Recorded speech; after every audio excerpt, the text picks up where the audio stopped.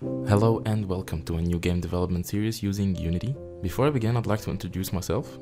I'm Ziad Khalid, game developer and designer, and I've been in the field for 8 years, and this YouTube channel is about 6 years old.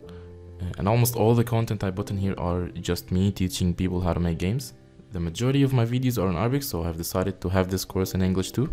It's designed to take you in a step-by-step guide on how to make video games, uh, from the very beginning to a state where you can count on yourself and be able to produce your own games.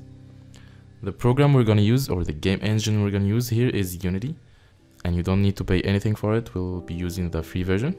And by the way, the videos in the background are for games made with Unity.